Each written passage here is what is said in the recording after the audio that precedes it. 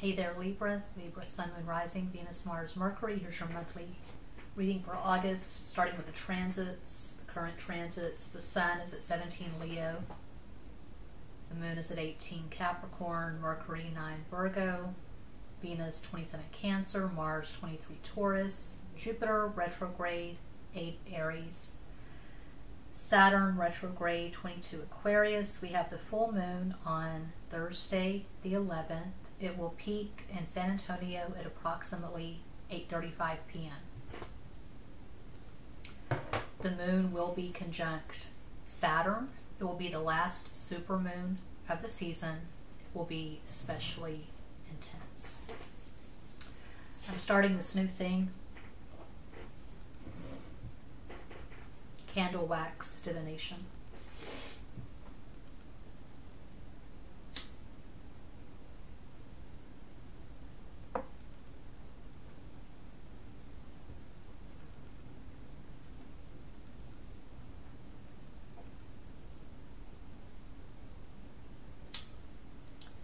You could be involved with a Sagittarius or someone who has strong Sagittarius placement, Sun, Moon, Mars, etc., etc. I'm seeing a cock and balls. There could be a lot of sexting with someone who has strong Sagittarius in their natal chart, strong sexual connection.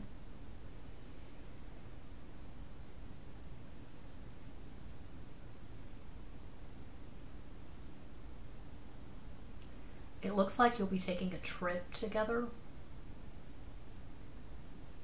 You're going to Florida could be taking a cruise out of Florida, a cruise to the Bahamas, maybe. See a lot of sex. For some of you, a pregnancy. I saw that with one of the other signs. Forget which sign it was, but I saw a possible pregnancy. A lot of sex. Of sex.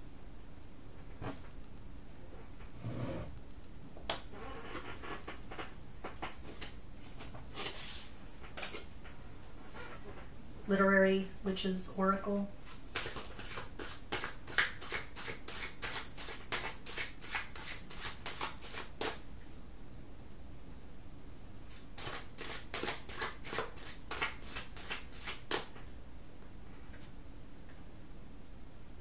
Toni Morrison again. I got Toni Morrison for Virgo. Power.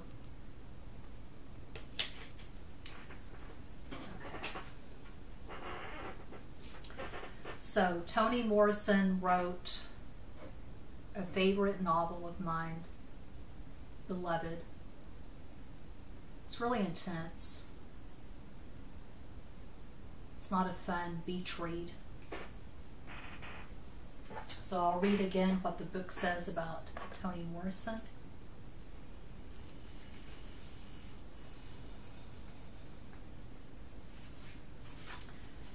Toni Morrison power, owning power, seizing power, the powers at play. No American writer is more honor laden than regal Toni Morrison, born 1931, who was born to a working class family in Lorain, Ohio, a frequent setting for her epic novels of black experience. Her most famous work, Beloved, has become required reading, but wave that unjust homework aura away Seek this novel for the haunted story it is, a deeply spooky and moving book about a vengeful baby ghost. Her command of the English language is formidable.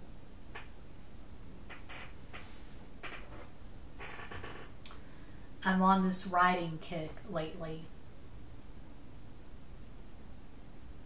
I've always been a writer since I was a child. My fifth grade homeroom teacher, Mrs. Becker, Sudderth Elementary, Monahans, Texas, she really ignited the spark, but it started before that. But um, yeah, I won't get too deep into it. Currently, I'm reading Suttree by Cormac McCarthy. Masterful language. It's quite intimidating I've got to get back to it. I've got to get back to revising and writing. It's very daunting, it's very intimidating. I feel hopeless, but I've got to just shake off the cobwebs and just be the goat that I am and persist, persist, persist. Saturn tops my chart. I have Saturn and Gemini in the 10th, and I have a fuck in Capricorn. Six cards for Libra.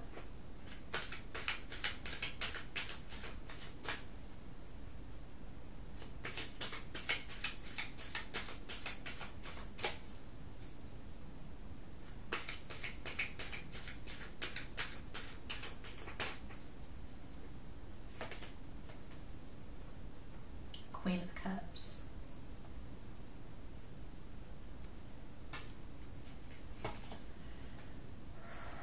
Ten of Coins.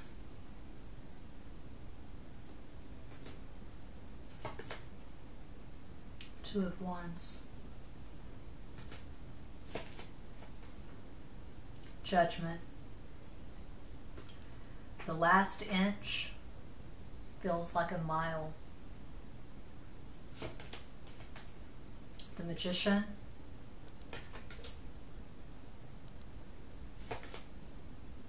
Six of Coins.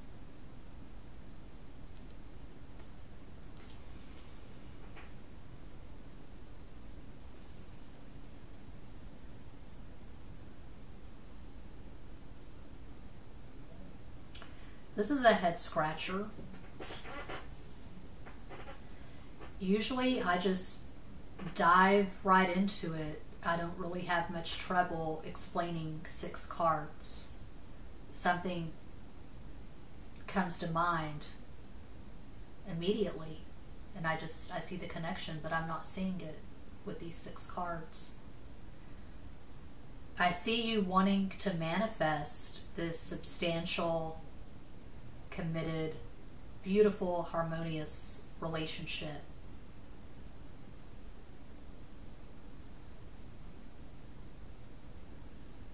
but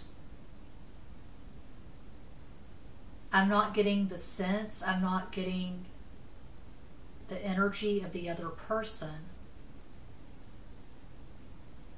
And we have the Sagittarius Gemini axis. I feel like communication is a problem. Ordinarily with ten of pentacles and six of pentacles i would say there's mutuality there's reciprocity there's substantial exchange. But something is off here. This is the first sign i've done this for this cycle but i'm going to go ahead and clarify each card because something is just really off here. Please clarify queen of cups over judgment one card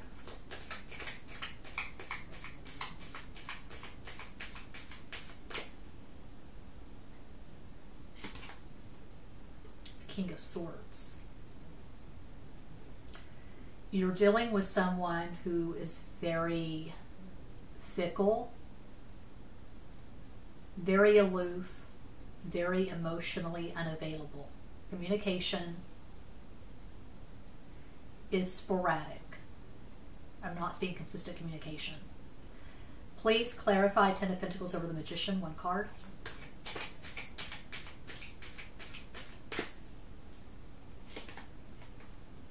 Four of Cups.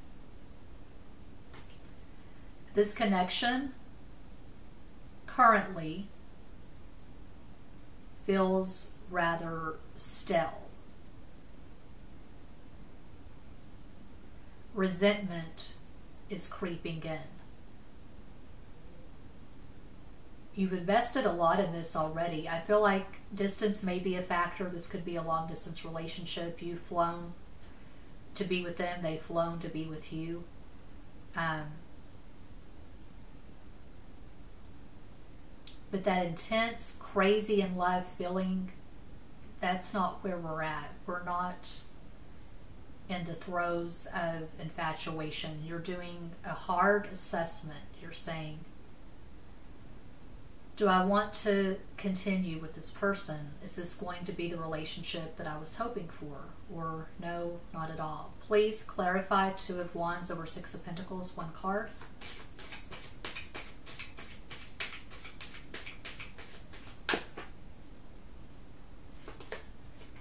Six of Swords.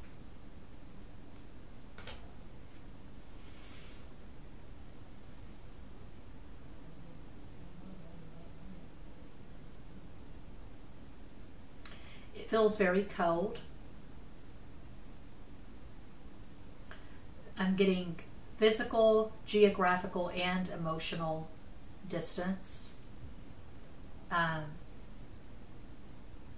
you're wondering about your person of interest, you're wondering where their head is at. Please show in three cards what is going on with Libra's person of interest. How are they feeling about this connection? Three cards.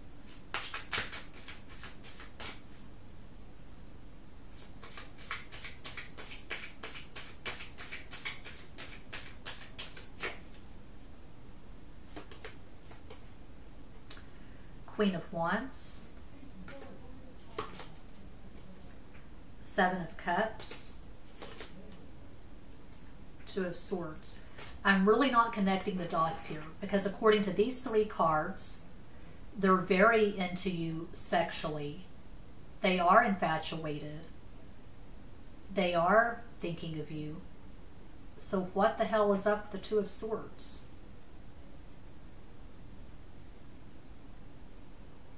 What is up with the Two of Swords? I don't get it. Make it make sense. One more card for Libra. Uno más, por favor.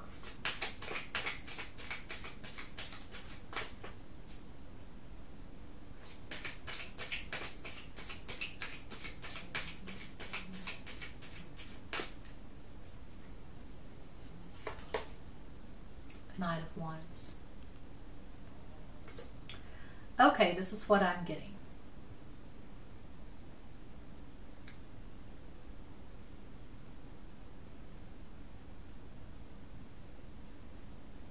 They are very into you sexually,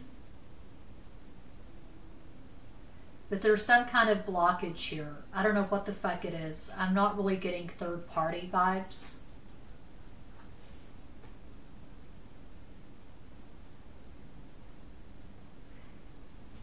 It could be that their career is top priority and they have a very stressful career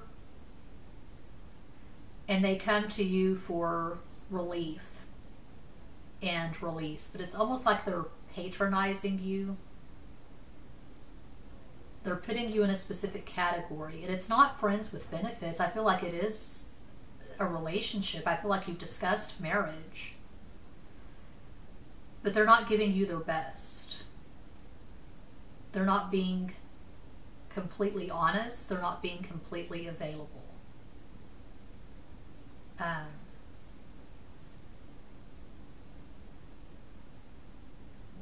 I would have to keep pulling cards to really grasp what's going on here. It's it's challenging. This happens very rarely. Where I pull this many cards and I still don't really know what the fuck is going on. Um,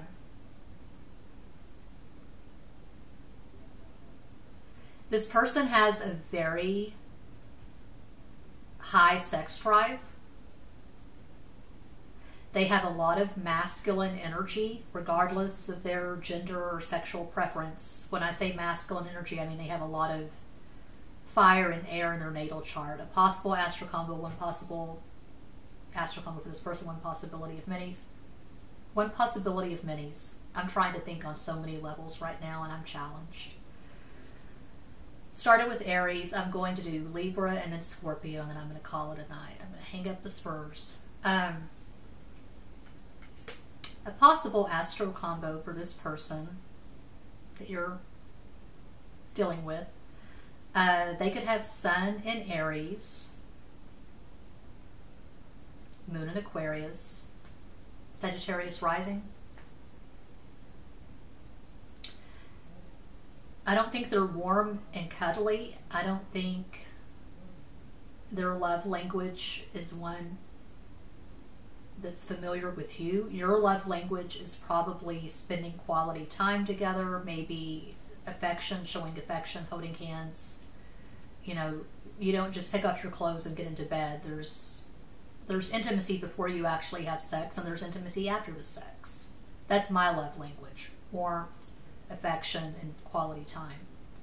And their love language could be acts of service or giving gifts. Um, if this is a man, I feel like he has this weird thing with his mom.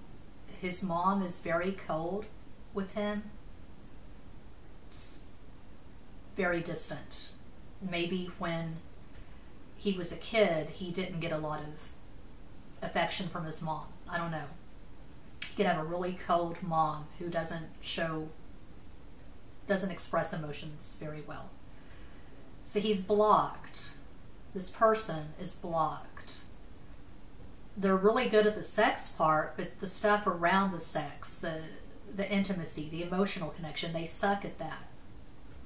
Uh, also, you could be suspicious. They're talking to other people. They could be very flirtatious.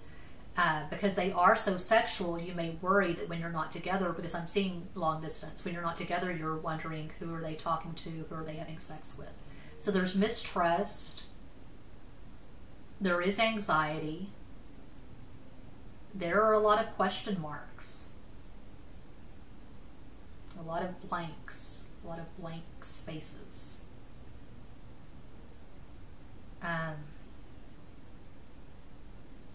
I'm seeing that Harrison Ford, Michelle Pfeiffer movie, What Lies Beneath. It's a really well made movie. Um,